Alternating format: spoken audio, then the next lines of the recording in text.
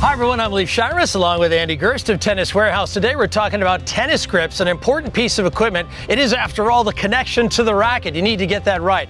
Andy, what are some of the different options for players when it comes to grips? There's lots of options out there depending on what your personal preference is. A very popular choice are tacky grips that right out of the box or right out of the wrapper, they offer a good tack and a good connection to the racket.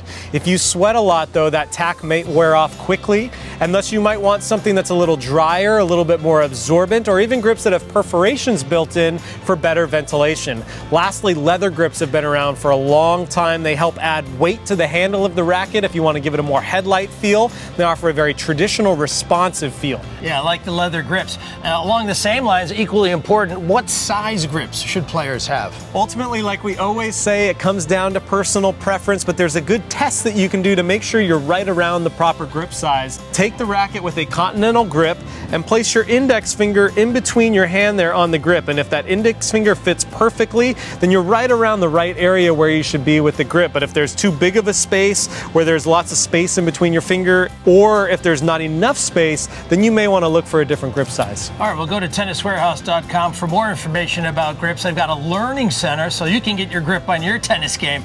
I'm Leif, he's Andy. We'll see you next time.